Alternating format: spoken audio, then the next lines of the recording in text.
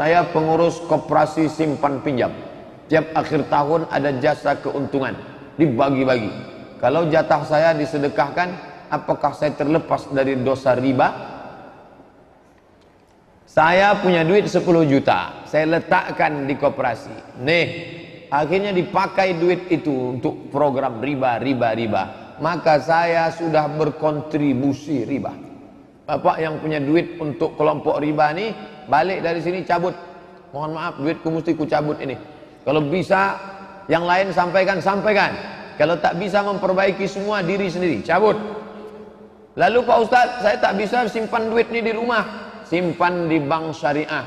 Bank menuju syariah.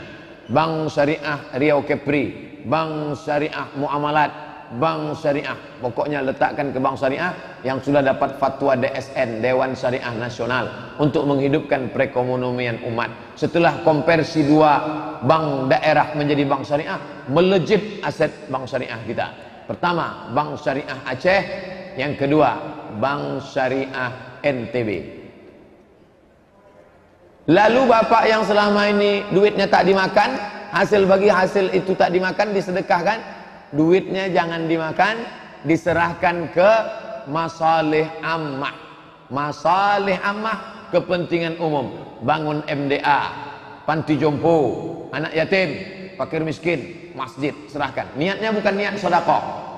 Mengembalikan uang umat kepada umat, bukan niat sedekah. Karena tak boleh bersedekah dengan duit haram.